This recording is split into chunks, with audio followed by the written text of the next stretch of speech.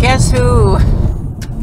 Alright, so this is the third installment, apparently, to living in the now. This is the third benefit of living in the now.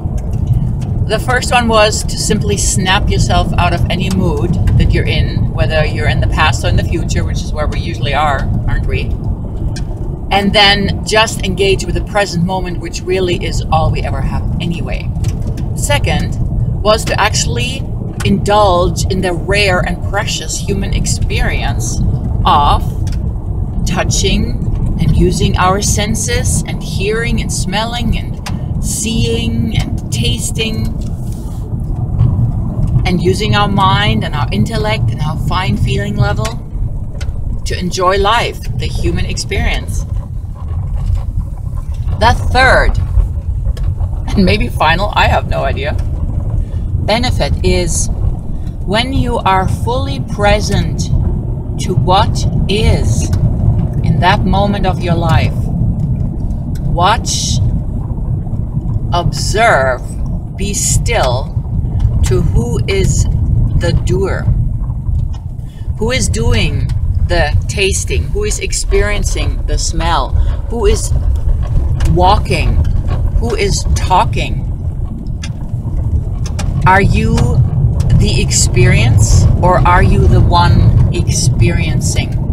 And I know many of you are very familiar with that wonderful, wonderful state of who we really are. Our big self, source, divine, the doer, the non doer, really. So, next time you are in that precious moment of now, be still and feel where you live. You have the opportunity, of course, to go outward into the experience, which is yummy, maybe, hopefully. You can do that, and you can also go inward 180 degrees and simply be there. Be home with that. All right? So, being in the moment can be an incredibly powerful tool to snapping into who you really are. All right, here I am at my place of work, signing off with this third installment of Living in the Now. I hope you enjoyed it, and maybe there'll be more. I have no idea. But I'm sending all my love for a wonderful day for you, and I will talk to you soon. All right, bye bye.